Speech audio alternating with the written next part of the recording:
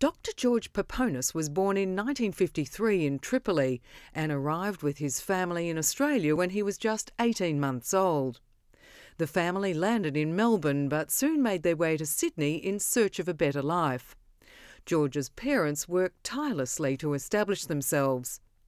His father was an interstate truck driver and was rarely at home, his mother struggling to raise two children and work simultaneously. Living in a small apartment in Canterbury, George recalls being locked into his room every day while his mother went to work.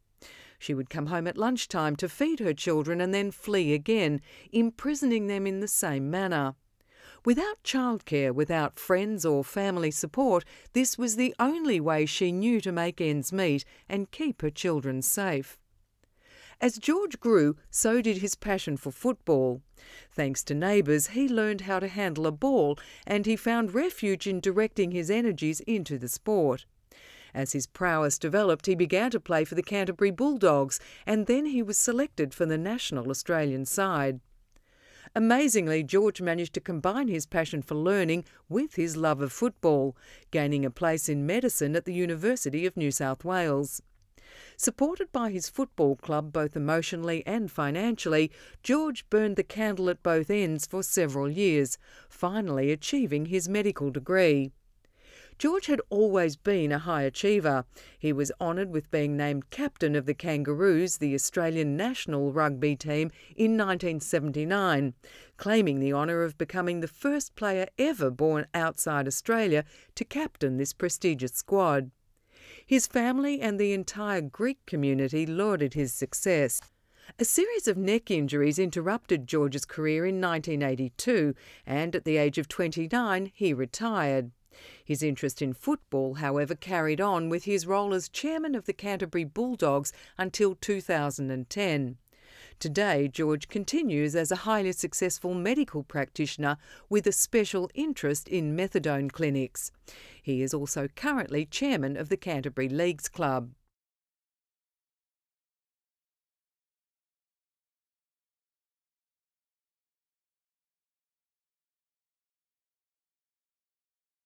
I guess the earliest memories are, just before uh, kindergarten or around about kindergarten. Um, and I can remember my mother used to uh, work in the factory across the road and my father was an interstate truck driver so he wasn't home a lot and um, mum uh, used to lock us in the bedroom and then go to uh, work, come back at morning tea time, feed us, lock us in the one bedroom, go back at lunchtime to work uh, in the factory and then come back at lunchtime, let us out, feed us, lock us in the bedroom, go back again. We used to hate it.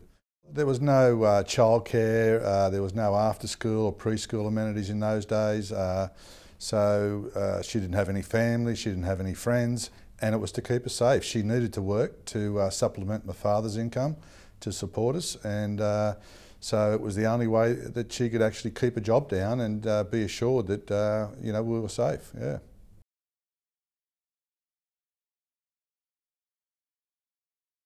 My first school was Alexandria, um, and it was probably uh, a little bit multicultural in that you know it was in the Redfern uh, area, um, where there was a big Greek population at the time. When I moved to Earlwood Primary, um, and you know my fondest memory of that is we moved um, over Easter and moved to uh, a new school, and my father decided to shave my head off, uh, hair off because it was sort of growing in every direction. And so I wore an Andy Capp hat to school. Uh, I, I, was terrified. My mother never drove, doesn't drive to this day. Uh, as I said, my father wasn't here all that often. Uh, my mother was a great parent, uh, but she didn't have the ability to drive you around. So um, I don't, my mother didn't see me play football till I was about 15. Um, I would catch a train, a bus, a plane, anything to get to um, training or a game, um, hitch a ride from one of the other parents. Um, I think my father first saw me play football when I was about 17. Um, and when I was graded um, in 1972, I don't think my mother missed another game of football um, that I played from that day on. Um, and she was one of my avid fans and uh, would follow me everywhere. But in the early days, um, you, you, know, she basically couldn't. Uh, uh, you know, follow you to sport. She didn't have the ability to help you with your homework because her English, you know, wasn't um, up there. Um, so you had to do it yourself. Um, and you know sometimes that makes you strive a little bit harder.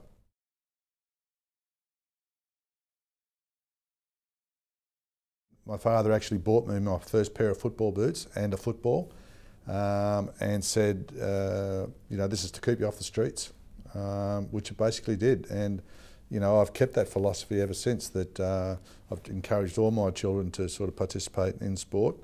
Um, and, you know, it is, as I said, it's a great leveller, but uh, it also keeps you occupied.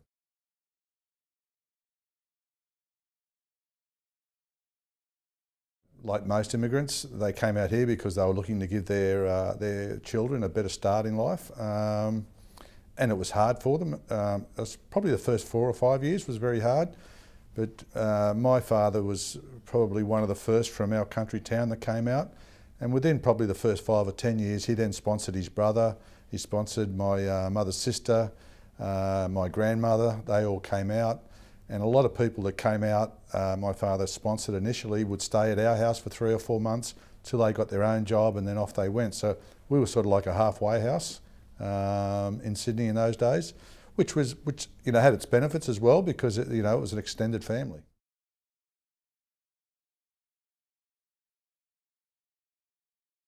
I remember uh, I was probably in about fourth class of primary school and I wanted a football and um, and you know we weren't all that well financially off. And um, in those days, there were the uh, the paper boys that would go around with a wheelbarrow and deliver the newspapers to the houses around the suburbs. Um, so I got myself a paper run after school, two afternoons a week, so that I could save some money up and buy a football. Um, so you did what you had to do, um, and it was you know I loved playing football, so you know I did it. The only time I felt a little bit different was when my mother wanted to put white socks with black shoes when I was going to school, and I didn't. I argued over that, and it and it was it wasn't so much I felt different because of who I was, but you know uh, just some of the traditions of of uh, the Greek background, I guess.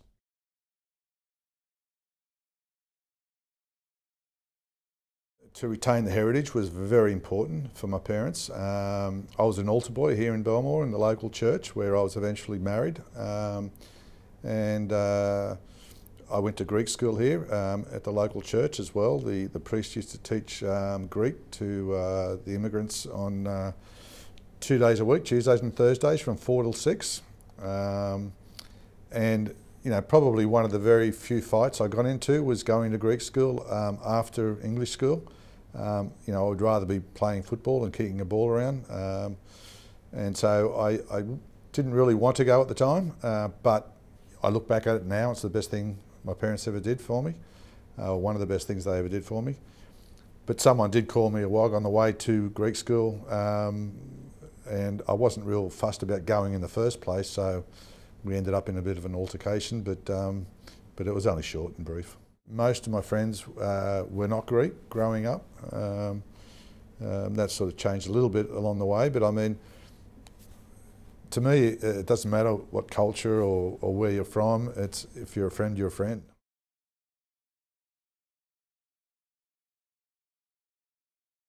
There are probably two defining moments. Um, when I was in um, about second year at high school, um, I uh, decided that you know I needed to focus on my studies if I wanted to become a doctor and go to university.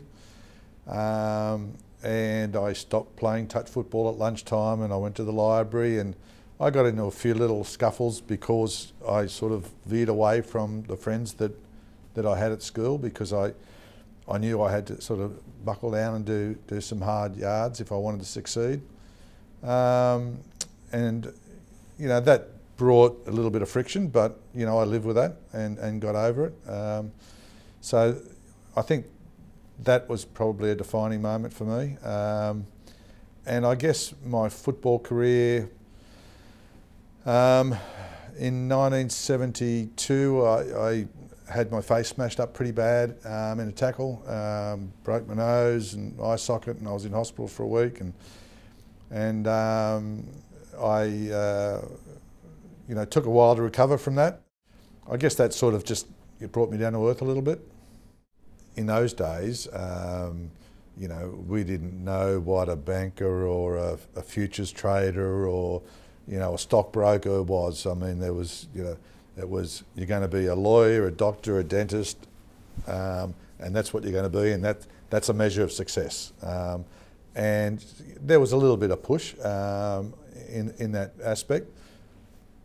But your parents can push as hard as you like, uh, unless you're prepared to put in the work. It's not not going to succeed. So I was determined to succeed, as as much for myself as to reward and give back to my parents for the sacrifices that they'd made.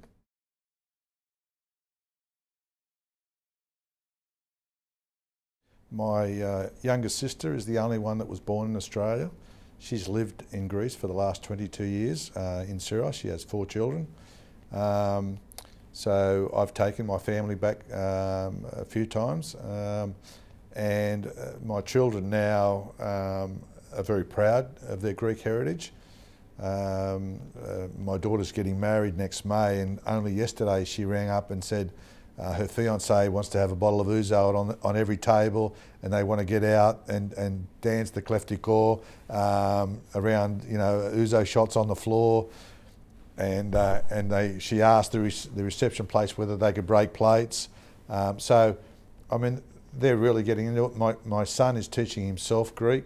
Um, so, you know, he's enrolling in Greek classes in Melbourne uh, where he's uh, working at the moment. So, you know, as part of your children, um, you embrace it a lot more as well. I guess in my early days, I, I probably didn't embrace it as much, um, but I certainly do now, um, and, and my children do as well. I'm very proud of, of um, having achieved what I've achieved. Um, um, not everyone gets to captain their their country in whatever sport it is that they excel in.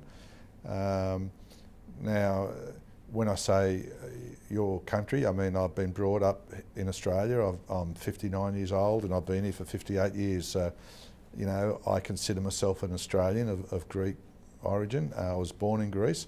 I'm very proud of my origin, but I'm very proud to be an Australian as well.